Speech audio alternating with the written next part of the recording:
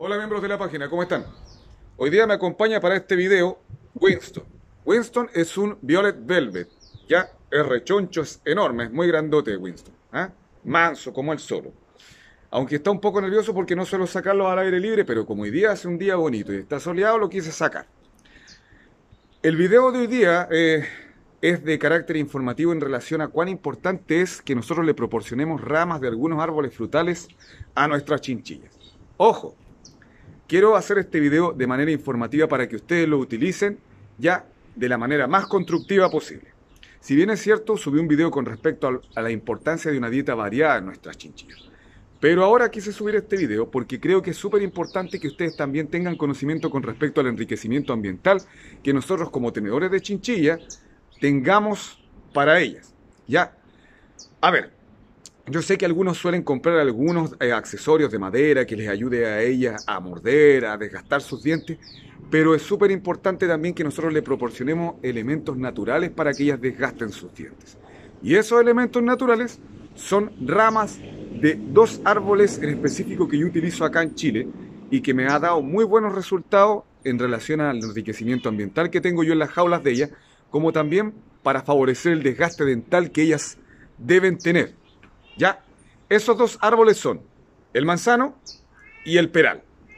¿Cómo debo yo proporcionarle estos dos tipos de árboles a mis chinchillas? A través de ramas secas. Cuando en su casa, en, la tiempo, en el tiempo de poda, ya corten ramas de manzano o de peral, guárdenlas, pónganlas a secar bajo sombra, ya, o bien pónganlas a secar al sol, pero no es muy adecuado porque en realidad se suelen secarse de manera café y lo ideal es que se sequen de color verde. Al estar secas, ya, ustedes después las guardan y ojo con esto, tienen que revisar si no hay presencia de hongo o florecimiento de algún, de algún indicio que diga que tiene algún moho o algo aparecido la rama, porque si la, incluimos dentro de la jaula con esas características, podemos generar un problema estomacal en nuestro animalito y en vez de hacerle un bien, le vamos a hacer un mal. Entonces, secamos las ramas a la sombra, una vez estas secas, las guardo en una caja de cartón o las guardo en un recipiente que no favorezca eh, la producción de humedad. ¿Ya? Y una vez estando secas, yo se las proporciono una vez a la semana en raciones súper pequeñas. Incluso hay ramas que son un poco más gruesas que yo se las puedo proporcionar cada dos semanas. Entonces, ¿qué es lo que me aporta a mí el que yo a ella le entregue ramas de estos dos frutales secos? Una, se entretienen, entonces parte del enriquecimiento ambiental que debemos tener. Y dos, contribuyo a que su dieta sea más variada, porque aunque no lo crean, la corteza de estos árboles ellas la consumen ya como una golosina y favorezco también a que la dieta que ellas tengan sea variada. Entonces, súper importante, a las personas que me han consultado desde Argentina, desde Perú, desde Uruguay, saludos también a la gente que me ha consultado de Ecuador. Es súper importante que nuestra chinchilla tenga enriquecimiento ambiental, tenga una dieta variada. Si el enriquecimiento ambiental tiene que ver con este tipo de golosina, pongámoslo en marcha. Si yo tengo en mi casa este tipo de árboles, ocupemos los residuos de estos árboles al momento de podarlos. ¿Con qué fin? Con el fin de beneficiar el bienestar y la nutrición que nosotros tenemos para nuestras chinchillas.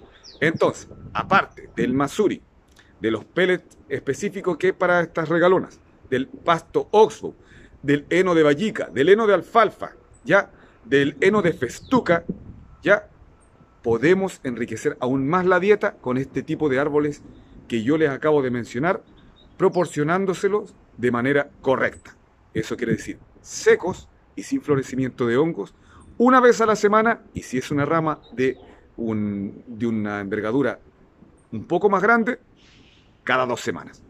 Espero que esta información les haya servido. Ya estaré subiendo información de manera permanente a mi canal de YouTube. Cualquier consulta, cualquier duda, háganla. Yo no tengo problema en responder, no tengo problema en contribuir con los conocimientos que ustedes tienen que desarrollar en relación a cómo ustedes pueden cuidar y tener de una manera más saludable y óptima a sus chinchillas. Ya, les mando un saludo grande a los miembros de la página de Chinchillas Chile y a los diferentes miembros de las distintas páginas de Sudamérica, los cuales se han suscrito a mi canal. Ya, así que un abrazo grande, que estén bien y espero que la información la utilicen de la mejor manera posible. Chao, cuídense, que estén bien. Chao, dígale Winston. Chao.